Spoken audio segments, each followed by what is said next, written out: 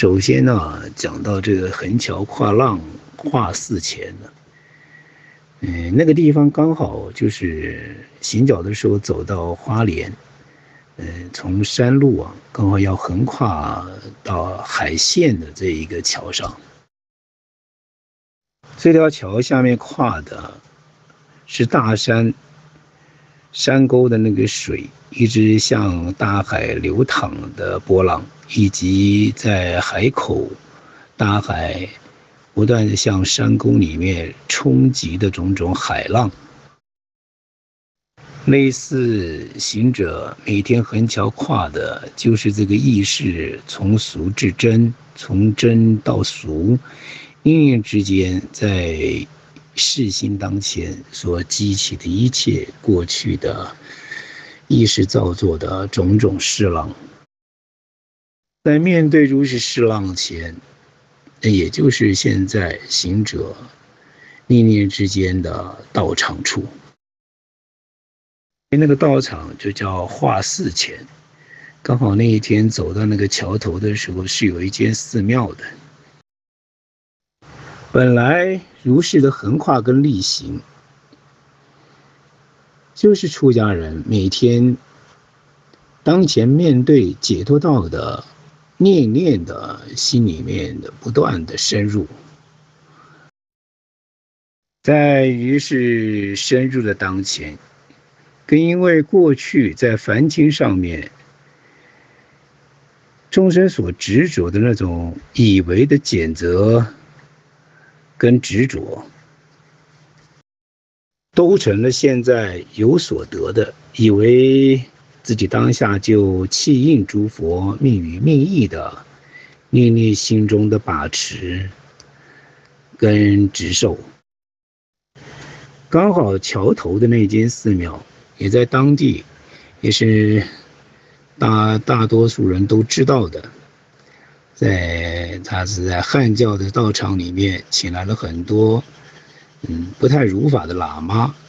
教授一般人以为先前可以抓到那些怪力乱神的，譬如吐纳啦，或者是种种在感受上面的造作的，啊当下会有感应的修行。他的另一个层面，刚好也就是在解释当前有很多修行人。那虽然向向上是发心修行，可是潜在意识里面一直永远没有舍离过半点，在世间那种图名图利，或者是还在妄想捉持一些怪异乱神的一些，呃，当前的感应的那种自我的迷惑。本来汉僧二字，尤其讲到大圣佛法里面，就是讲到发大丈夫愿。才能堪当如是汉子，但却在当今的种种社会现象里面，可以看到有很多汉僧多半都想要非常急切的，就叫一生之中就有所得，或者是一生之中就能了办的那种狂心作意，反而舍去了祖师的种种僧制。甚至又换上了喇嘛的红衣。你若是真学喇嘛的如法的行仪，那当然都是佛门之中的教授。但是要是都学喇嘛之那种，有很多是假借他们密语密意的那种，呃，世间上面容易狂惑于别人的种种伎俩。却把它当成现在在修行上自以为是的炫耀，所以就是我那第三句“汉僧多卷红衣乱”。世间现象是如是，但是刚好在跟有很多的新意识的现象，呃，也是如是。明明是发了大丈夫心愿的行者。但往往也会有一些修行人会不小心，又会堕在自己刻意去标榜自己有所得，或是有所能力，有些什么奇异的能力，类似的心里里面的那种被别人羡慕的那种心中的狂乱，那就跟现在的红衣乱是差不多的意思。在平常的时间里面，你看到的好像都是修行，吃咒了、念佛了，做什么都是修行。他的心里面永远没有放下脚海翻翻云，都是在潜在意识里面狂说密语密意，妄作种种玄妙，做自误误人的一些行为。与伎俩，这个有的时候不是骂人，有的时候也是用世间的现象也做自我的警惕。因为每一个修行上面的过程，你都会看到现在意识上面的不断的翻搅，但是拿着如实的翻搅，妄作有所得想，啊，就跟，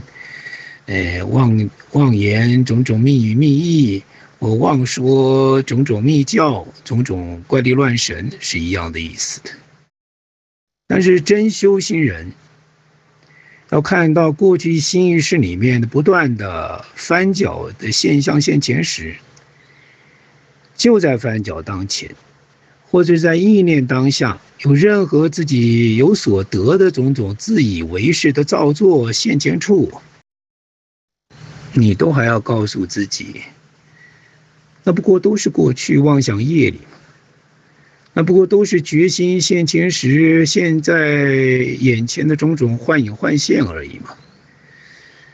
所以每一个修行人都会碰到心意识里面的翻搅，但是你捉持这个翻搅，不认如是决心，那你就随着翻搅之中，就会堕在现在你看得到的类似。不但是心意识是如实，也看得到的类似世间现象的，个个都好像有所得，个个都好像玄妙的不得了的那种，呃，现在的种种高人，但是真修行人，就在自己横桥跨浪当前，就在自己每一个道场当下，看得到自己于修行处时。不管你是解身、解身之处，或者是在修行当前，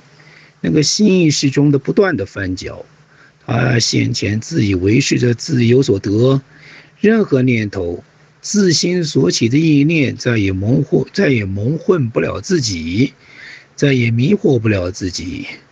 那才是真修行处，那才能够跳出，呃，在修行上面。有的时候不小心又妄堕在有所得上面、有所悟上面的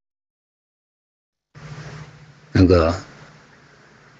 修行的种种业障跟陷阱。